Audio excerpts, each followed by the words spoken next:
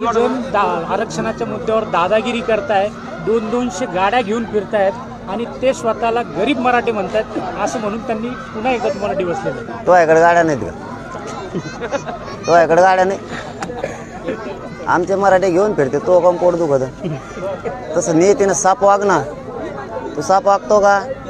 पोटात स्वार्थ घेऊन हिंडतो.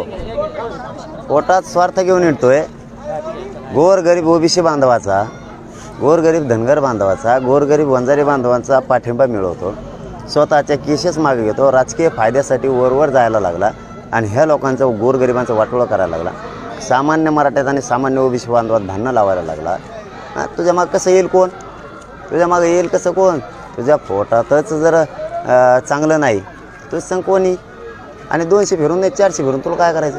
तू आहे गाडी येतो का मग आरक्षणात बाहेर तू? आमचे मराठी गाडीचं आणि आरक्षणाचं काय संबंध? शैक्षणिक आणि सामाजिक दृष्ट्या मागास असणाऱ्या समाजाला आरक्षण दिलं जातं. एवढं कळतं तुला? तू मंत्री आहे ना?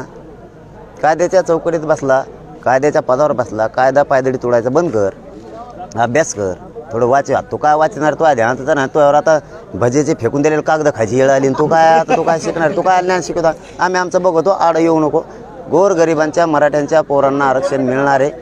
कारण ते ओबीसीतून आहे आमचा हक्काचं आहे. आमच्या नोंदी सापडल्यात. विष कालायचा प्रयत्न करू नको.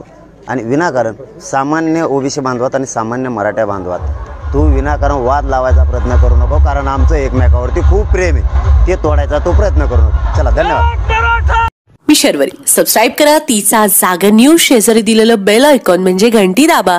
जेणेकरून तुम्हाला आमच्या साऱ्या अपडेट्स येत राहतात